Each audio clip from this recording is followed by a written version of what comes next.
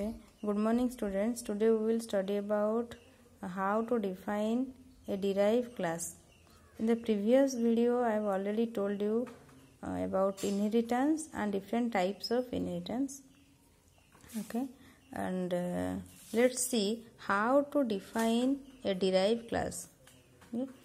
uh, first uh, derived class it is a class it's also a class but what it will contain it it may contain some okay, it may contain um, some data members or member functions of base class and also it uh, it can have its own members or data members or member functions okay. Let's see the syntax. Here is the syntax to define a derived class first we have to write the class keyword. It's then derived class name. I will give an example later uh, derived class name. Then you have to write visibility mode okay?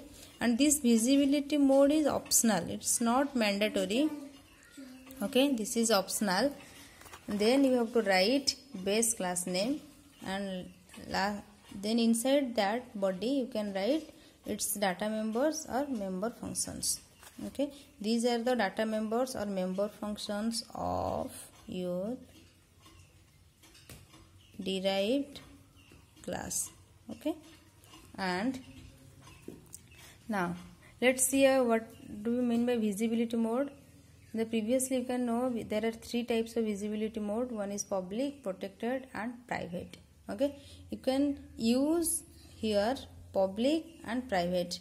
And by default if you as this is optional then you you may write or you may not write but your default visibility mode will be private. Okay? So let's see an example. So this is an example of defining a derived class. Here is your ABC ABC is your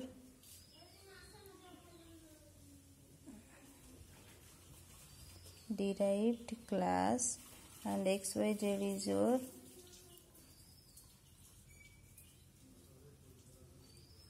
base class. Okay? And then then you can write here private here is the public access specifier. And if you if if you will not write any visibility mode you are not specifying any visibility mode then by default by default it will be private okay?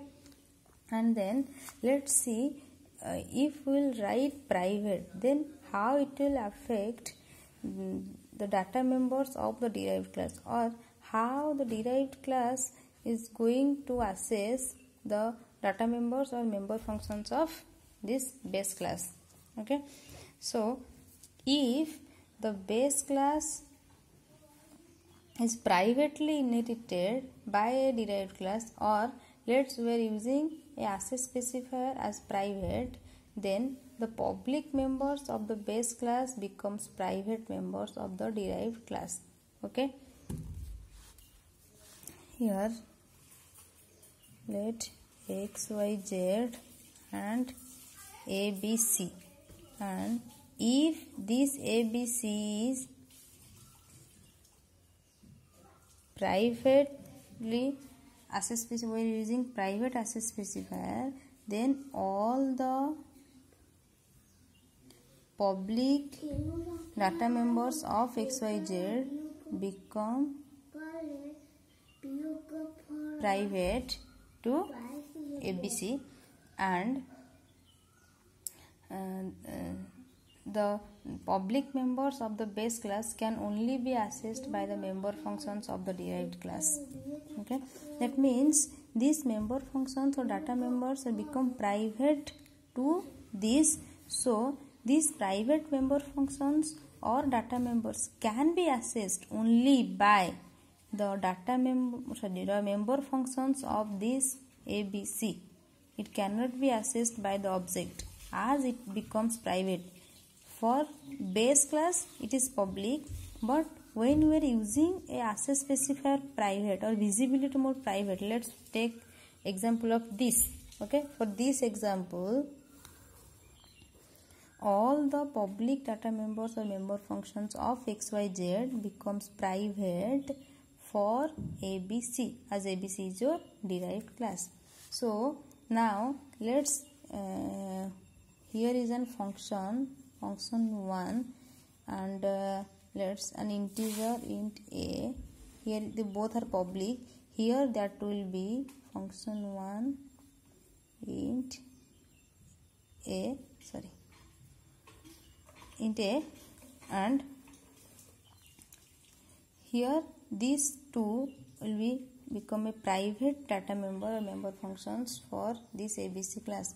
And and this data member can be accessed only by using the member function function 1 or or there may be some other functions. Let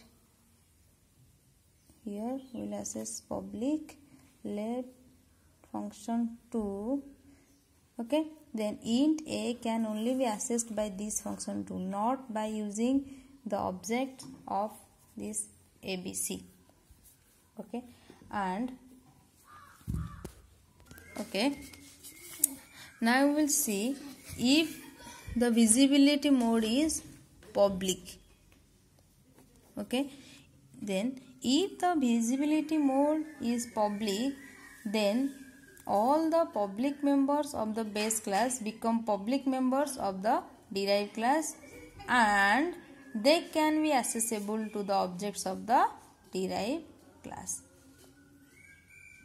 Okay? But the private members are not inherited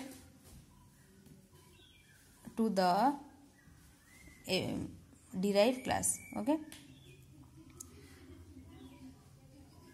So if this visibility mode then all the public members become public for the derived class okay? So all the public data members or member functions of base class will become a public data members or member functions for your derived class. And in both the cases if it is public or private we are seeing that these public data members become private or the public data members become public. But the private data members cannot be inherited if in the both the cases private data members cannot be inherited. Okay? By the base class. Or in the other word you can say that the private members of a base class will never become the members of its derived class okay? So this is all about how to define a derived class by using different visibility modes. Okay? We will see later uh, in different inheritance examples uh, as a single inheritance multiple inheritance multi-level inheritance we will use this concept. Okay? And another another thing you have to remember that if we are write, if we are not writing any type of visibility mode like public or private then it will become private. Automatically it will take the visibility mode as private. Okay? So if you want to define a derived class as public then you have to write a public access specifier. Okay? Thank you. We will see the examples of different inheritances in the next video